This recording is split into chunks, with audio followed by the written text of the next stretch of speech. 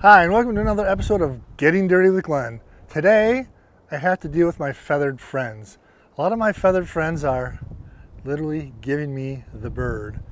I've been a little lax the last couple days, not filling up their bird feeders. I've got one behind me down here in this planter, and I've got a couple out here in front.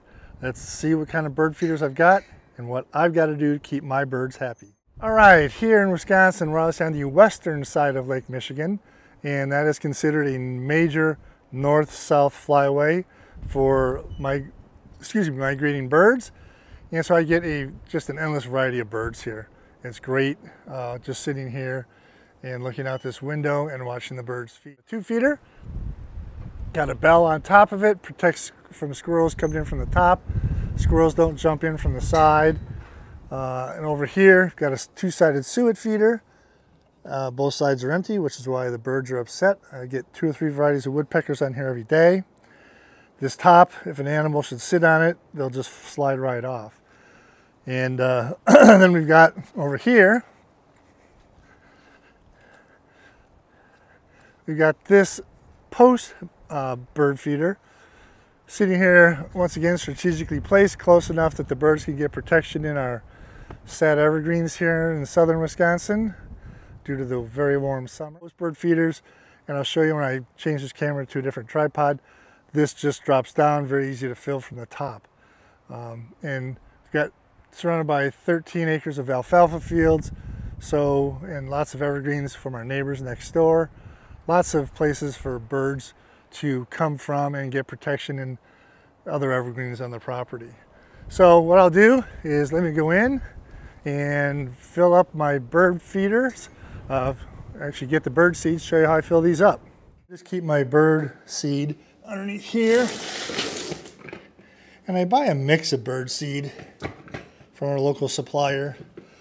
I'll buy just a generic mix, and then I'll buy a concentration of sunflower seeds and mix them both together. And then uh, I just store them in here. I never have any mice issues in this house, um, but it's easy to store. And I've got this scoop feeder or scoop, which I use to fill up the big post feeder. And then I've got this handy uh, filler here that I'll fill up with the yellow scoop. And then this just pours right in the tube feeder. So let me get started and get that taken care of. All right, show you how this works. This is a great bird feeder. I just got this on Amazon. This just pops open like this. Then I'll take the big scoop and fill this up just like that. Close the lid. Now when you go out there to fill, you just open this up and it'll fill the tube and you don't have any problems getting that in. And then this other one, I'm just going to fill up like this and I can fill the, uh, the post feeder real easily, very easily with this yellow scoop.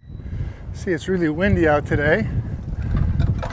We'll take this down all you do is this top comes off, folds like that. Take this one, take the cap off like that.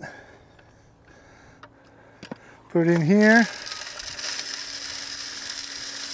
And this fills the tube right up. Makes life a lot easier. You're not trying to wrestle getting the seed in here.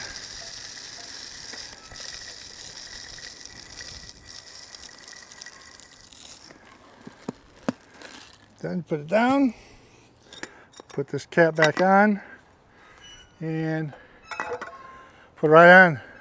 It's that easy to do that with this uh, tube feeder. Birds are happy. Uh, lots of different larger and smaller birds will fit into this one. All right, now we'll fill up this post feeder.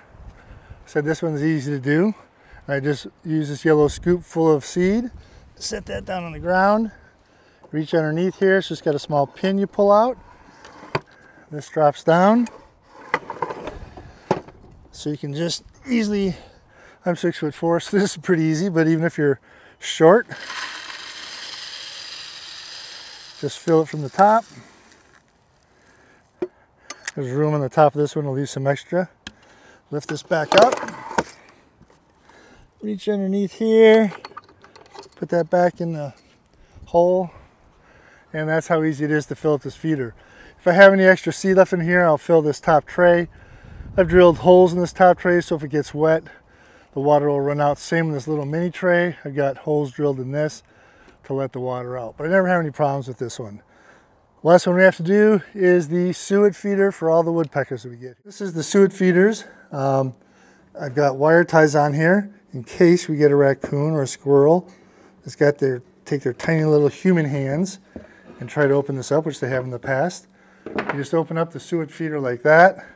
I've already cut the protective cover off this. So you just turn it upside down. Some people don't like to touch that. Put that in there like that. And I take a single wire tie and I put it through here. Once again, so those little devil raccoons can't open this. Switch sides, I already cut the other wire tie off of this side. Put this one in.